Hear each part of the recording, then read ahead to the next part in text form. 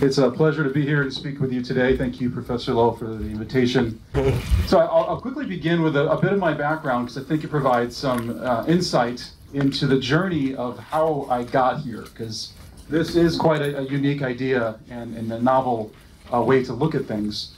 Uh, and we'll be questioning some, some work taboos uh, that have been, in, in, uh, been around for quite a while. So in 2010, I started a computer vision company focusing on facial expression recognition. And we were basically using web cameras to detect uh, faces, age, emotion, uh, and using that information for advertising and for um, audience measurement purposes. And ended up getting that company acquired in 2015, sold it through an investment bank, worked at a venture fund in San Francisco, uh, mentoring companies, helping them with their go-to-market, their fundraising, and then also was able to uh, be part of a management consulting firm. So I've worked in emerging tech for the last 15 years, uh, from companies that are Series A to Series B, all the way up through large multinationals that were spinning off various projects. And so that really made me question um, some of the practices that are in place today. And if you look at the current structures that are there today, they are basically made in, in uh, these mental models are adopted from um, an older way of thinking, an industrial age way of thinking, the way business should be done, the way a company should be structured. And the challenge in that is you have all these new capabilities. You have artificial intelligence, you have blockchain, you have some of these new capabilities and tools.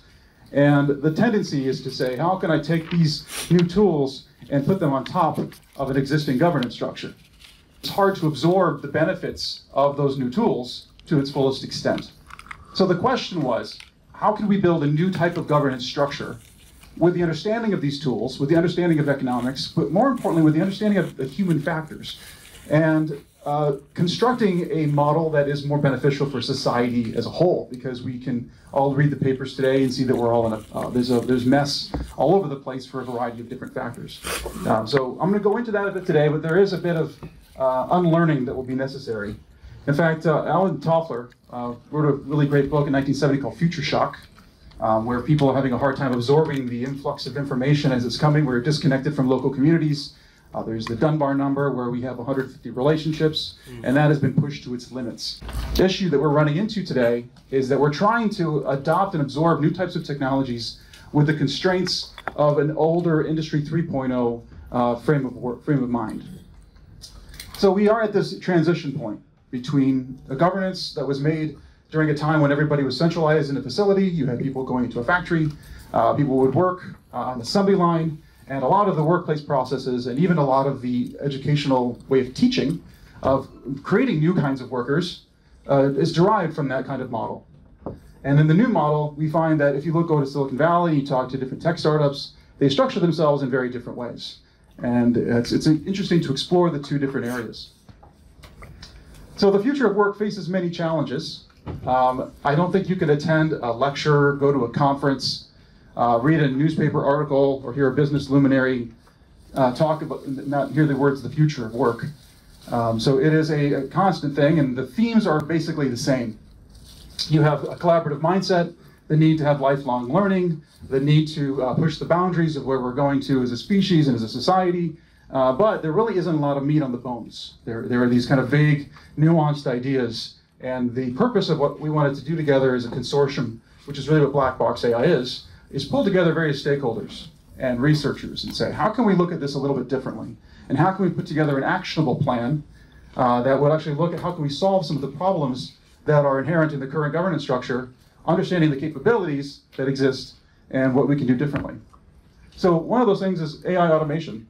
Uh, that's talked about quite frequently, and there's a lot of uh, hype around AI for specialized talent.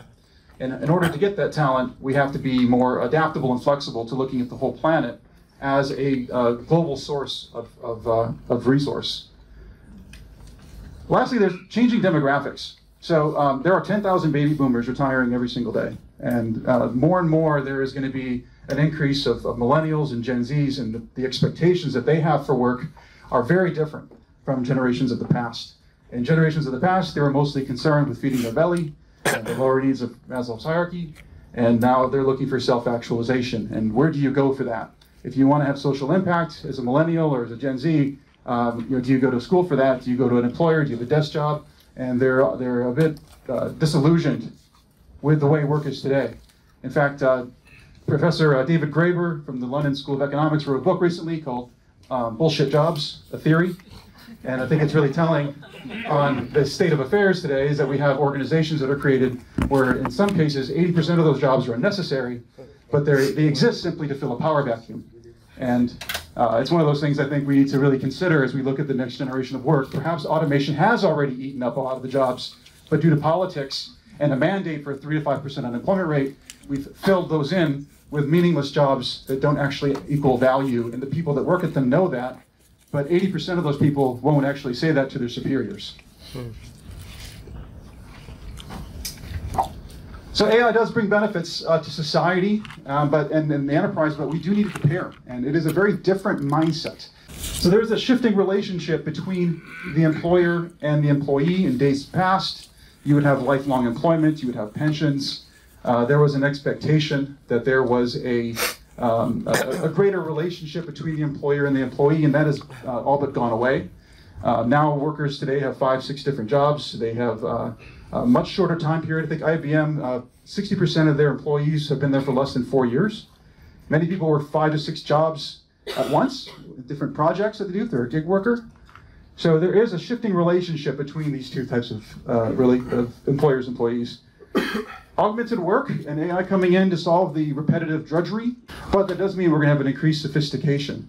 So as the Walmart barcode scanners get replaced and Amazon Go technology starts creeping into retail, and other these, these other tools start to, to permeate into the world, uh, we're going to have more and more people that are needed. You're going to need the, the guy to fix the robot.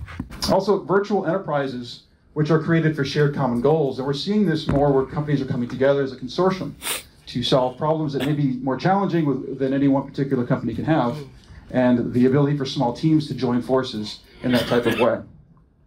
William Gibson has a great quote, which is, the future is already here, it's just not very evenly distributed. So it's really easy to uh, either look, be in a bubble if you come from Silicon Valley and think everywhere is just like this. Um, I come from Michigan, so it's a very different manufacturing kind of mindset. So their expectation of technology is still very linear. They look at technology from the perspective of going from 1980 to 1990, and not necessarily looking at it from the exponential perspective, considering Moore's law. So there is a accelerating rate of technology, uh, but it is not evenly distributed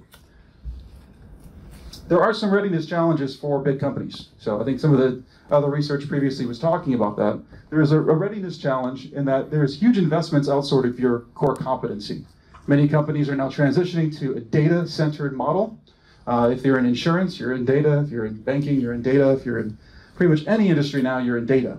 Uh, so there's some challenges to filling that skill gap because many of those uh, people want to work at a a company like Google or, or, or some other company, and, and, attracting talent may be more, com more competitive for some than for others.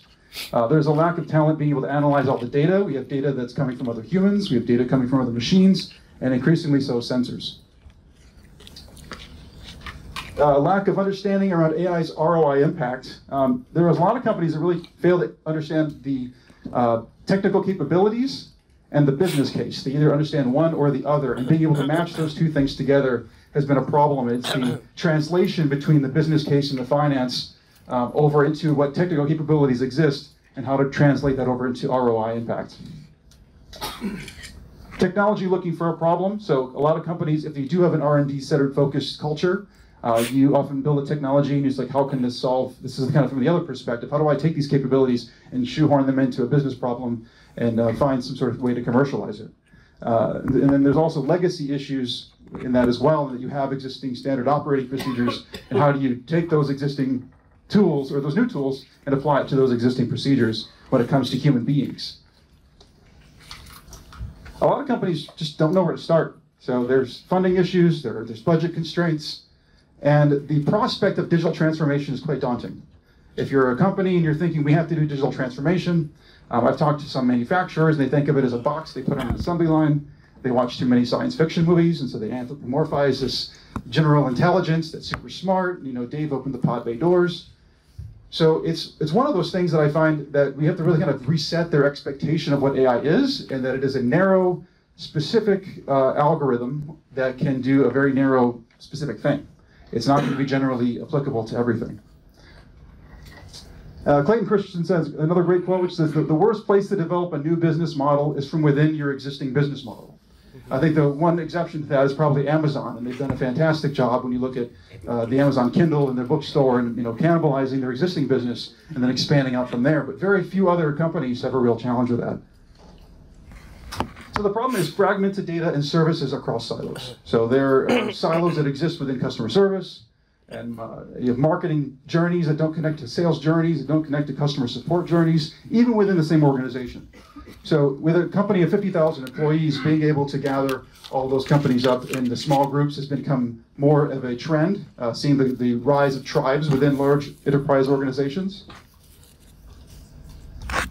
So an AI governance framework is really needed to solve some of these complex governance issues thinking about the societal uh, concentration of capital and its impact on politics, its impact on the world, its impact on society, and looking at it from, uh, I wouldn't say a utopian perspective, but also uh, we often need to have a, more idealistic approach because we have to really envision what kind of society we want to be a part of. You know, and I think one of the, the things I'm here advocating is that of a democratic workplace. Self-organizing governance to bridge across these silos, which will provide interoperability across a variety of teams, and then providing proper incentive alignment. So the future of work uh, will be anything but traditional. Um, if you have a company and you're going to start one today, it very much looks like this structure here. It's a pyramid shape, and that's been around for a very long time. You have a, it looks a bit like this when you fill it in. You got a CEO at the top, and you got top management, and mid-level management, lower management, even non-lower management.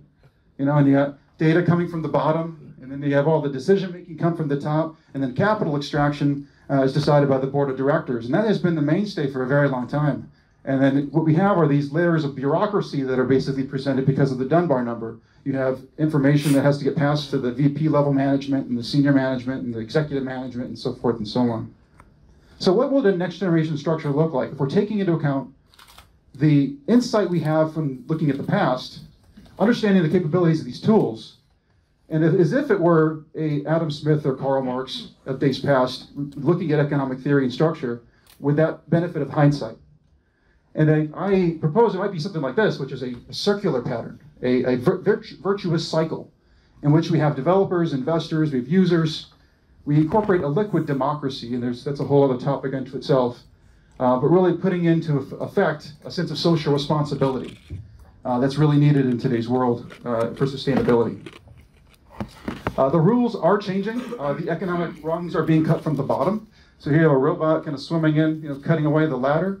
Uh, that's because we're seeing that a lot of the drudgery of the past has been uh, absorbed through artificial intelligence, but more so, that tide is rising because the capabilities are only increasing as time goes on. And it may seem like it's going slow, but um, over time we're going to see an increased acceleration. And uh, we've seen the adoption of from uh, from vehicles into radio and television, all the way up through the internet and social media. Uh, the adoption has increasingly gotten shorter. So there are four kinds of work. This is from HBR. Uh, technological, empo technological empowerment, uh, democratization of work. So this is the current state today. We have, you know, full-time employment, contract, part-time work. Over here we have today with turbocharged. We have all these new technologies that are coming out. We have G Suite, Asana, Slack, all these really amazing tools, and they're fantastic, but it's really meant for a, a full-time employee, and that's the, the, the structure of their business model. On the democratization side, we have the emergence of these new platforms. We have gig working and, and Upwork and WeWork and Fiverr and all these other things. But it really hasn't benefited the people that are involved in them, and it still has become a capital extracted model in which people at Uber are still making uh, around minimum wage that, that drive for Uber. Um, over here is what we're imagining is a different type of system, a future state, which is high democratization, high technological empowerment, which includes shared ecosystems, ad hoc teams coming together, similar to the way a Hollywood movie is made. You have people that come together, they band together for a particular project, they disband, and then join together again when new projects are needed. And there's interoperability among these groups. But the, the, the biggest issue is managing trust and solving some of the problems related to that. So the main focus is people, process, and technology, and in that order, and that's very important because the people are, are ultimately what makes a business. Um, you've seen other projects that have come up, um, like the DAO, which tried to resort everything down to bits, and you saw millions of dollars that were lost, and people very dis discouraged by those types of projects. Uh, and we think that people are ultimately behind transactions, people are customers, work is about people. Uh, next is the other processes and how things get accomplished, and we can find additional efficiencies there. And ultimately, technology is about scale. And it comes through three steps. We have assisted intelligence, where humans comprehend data and generate insight. Augmented intelligence, where machine learning augments the human decision. And then eventually, an autonomous intelligence, which executes autonomously as an AI agent. We have siloed information, we have silos in work today. And what this results in is high bench cost. If you want a specialized talent, if you want a, thank you, if you want a, um, a data scientist, they're very expensive, they're hard to find, it's very competitive. So there is a high bench cost associated with it. And if you don't have that work for that person to do, they're going to get very discouraged and they won't uh, be engaged in the work they do. They'll be likely to leave. So you have a high turnover rate. A collaborative model for shared resources includes a talent trust ecosystem. So there is an ability for talent sharing. So like you can, you, it was unimaginable a few years ago. You could share your car, you could share your house. Uh, what if you could share your employees? Or what if there was a different structure where that was possible? Uh, global collaboration, network of networks, uh, connecting different silos. So I mentioned interoperability and load balancing of human resource utilization. In the same way you would load balance a server, having an intelligent aspect where you could load balance the uh, utilization of billable time for various workers. And then, of course, streamlining the payments. So we wrote a white paper on this um, to solve kind of two main pieces. One is the inputs and the other is the output. We have the proposal mechanism, which is standardization of the statement of work. Uh, it's where most margins lost, most expectations mismanaged. And the proof of value protocol, which provides alignment and reduces the transaction cost. So we had to take into account user acceptance testing, we had to take into account approvals and quality assurance, what we wanted to do is allow people to work from anywhere. A bit like an MMO video game. If you ever play Clash of Clans or World of Warcraft, these are thousands of people that come together from all over the world and they work on a quest. But instead of a quest, we'll have deliverables. This is very much possible with work. You could have ranks, you can have perks, you can have elders and generals, like again, Clash of Clans, and you can manage the governance and a, with an interface. Translate to the next generation. So we're going to have to be a little more bold and experimental in trying some of these new ideas. But regardless of the economic system, uh, in the end is for that system to provide the most for the most. So thank you so much for having me here today. And it was very good speaking with you.